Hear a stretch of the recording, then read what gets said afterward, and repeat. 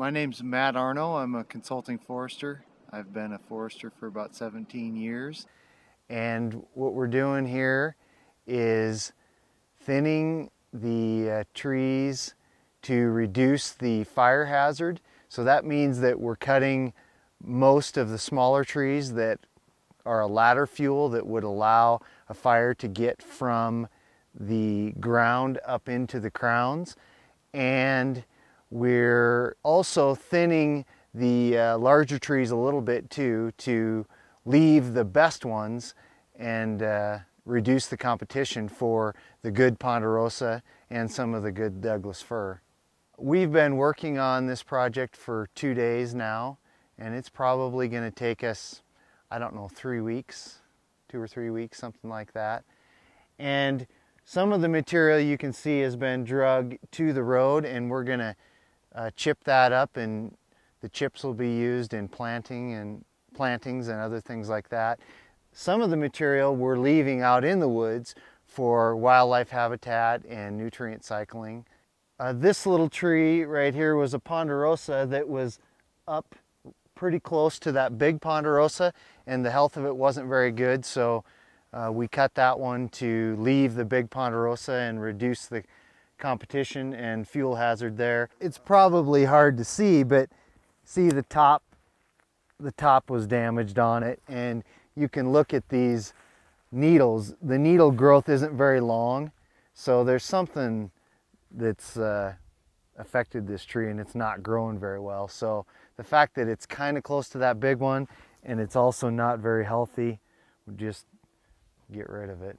And historically, that tree would have never probably made it because fires would have been burning through here every 10 years or so, and it would keep the forest thinned. All small trees that grew up that uh, had any fuel around them at all would get burned, and the only ones that would be left would be the big ones and an occasional, occasional little one that would survive a fire. A lot of these other trees that you see were small trees that were down underneath these big trees. And most of them have mistletoe, which is a parasitic plant that grows on the tree and causes the tree to put a lot of energy into those needles. And it makes it uh, a big broom. And you can see that on some of the trees we've left standing behind here. And it's okay to have some of that. It's good wildlife habitat, but it really causes a fuel hazard if there's too much of it because as you can see, it makes a lot of uh, dense needles that really burn very well if they catch on fire. We're creating a mosaic of different uh, stands, forest stands here, which is kind of a patchwork. Down in here, we're uh, reducing the fire hazard to a lot of these nice trees that are growing uh, toward the bottom of the uh, draw here.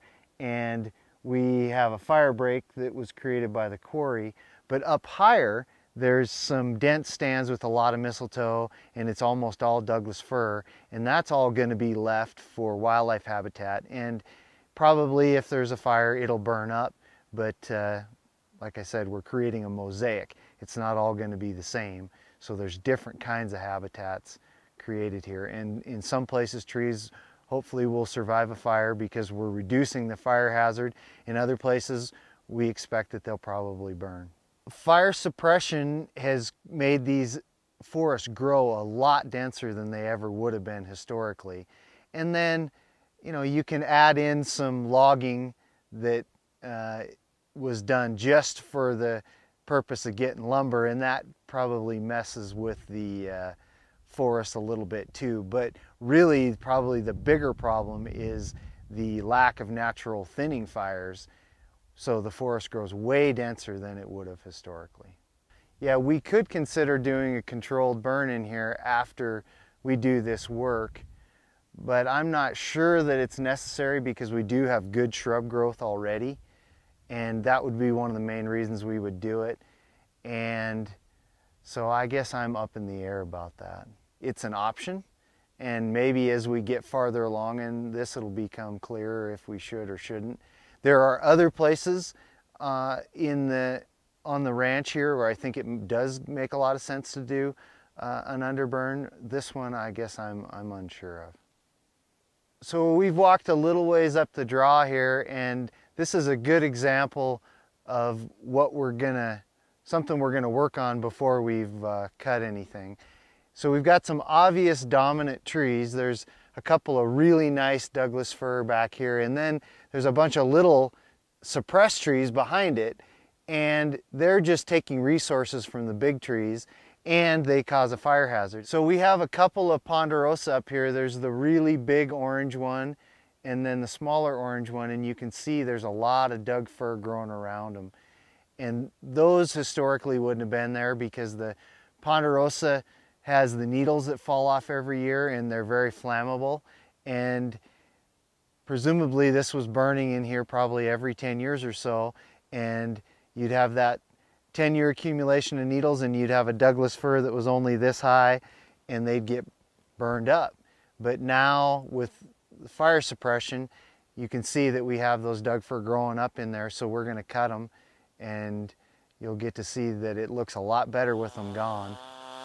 Ah, ah, ah.